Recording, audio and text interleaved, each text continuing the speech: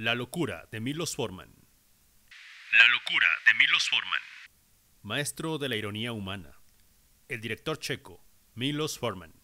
Ganador de dos Óscares. Por Atrapado sin salida de 1975.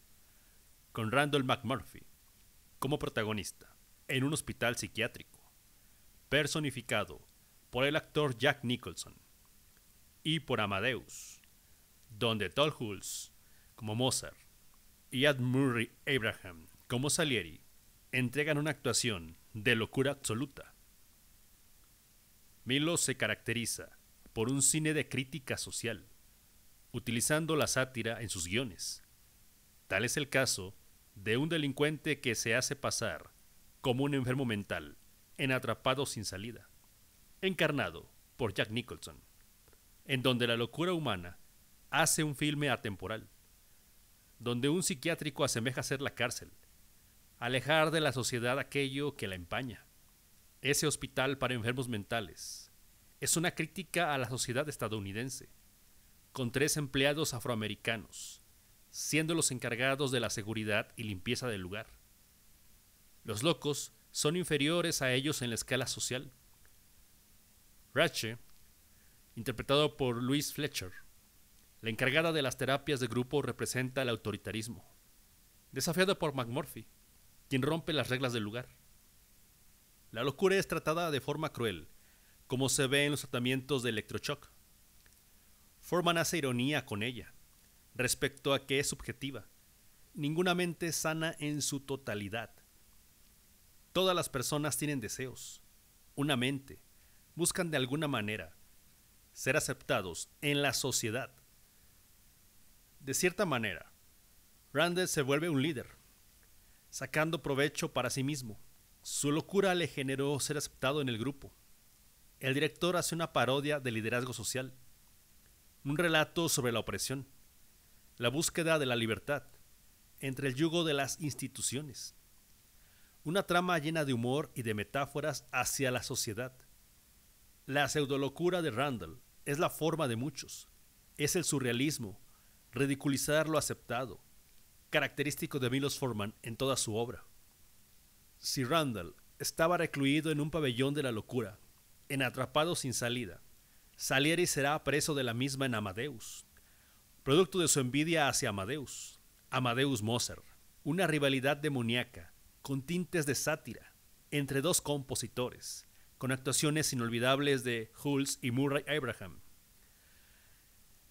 Mozart visto como un dios, Saliere como el demonio, la pelea del bien y el mal, que podrá no contar con el rigor histórico para muchos, pero la locura del antagonista llega producto de esa envidia hacia un genio, hacia un talento natural, ese requiem que pasa de los momentos oscuros a la brillantez, acompañado de la música clásica.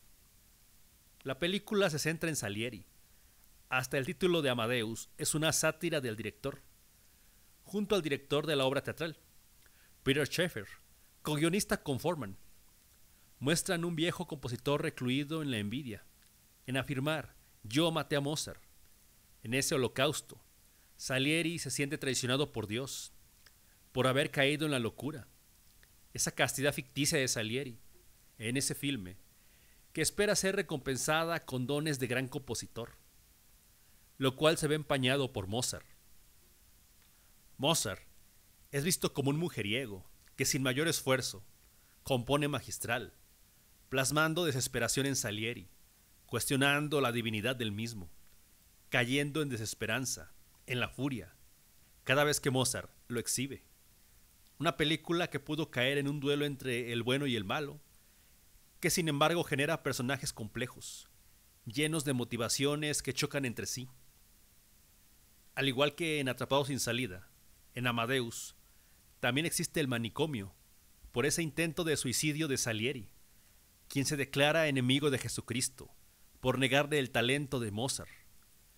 La música es el tercer personaje entre los compositores, el elemento para completar esa envidia transformada en locura. En Salieri vemos la falsedad del mundo, el buscar perjudicar el trabajo de la otra persona, la religión y la hipocresía como tal cuestionar la existencia de un ser pese a tu entrega, frustración, inferioridad, desprecio. Un relato sobre la culpa mostrado a través de la locura. Un reflejo de la vida, el talentoso sin esfuerzo que no es alcanzado por aquel que le envidia.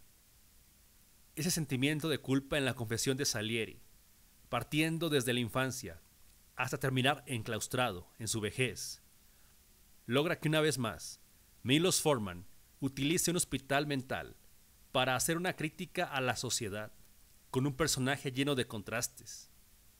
La fantasía del guion de Amadeus no se apega quizás a la realidad, a los hechos históricos, donde Salieri sí fue un compositor reconocido, no al nivel de Mozart, pero tuvo trascendencia. Tampoco fue casto, estuvo casado. La mujer de Mozart no estuvo en contacto con Salieri, ni el padre del mismo, estuvo en Viena. Hay varias inexactitudes históricas en el relato. Lo anterior no le quita a Amadeus la obra maestra que es. A Milos Forman como el cineasta de la sátira social, con su humor crudo, con la locura de los protagonistas, caricaturizándolo todo, crítica al mundo. ¿Qué opinas de la locura de Milos Forman?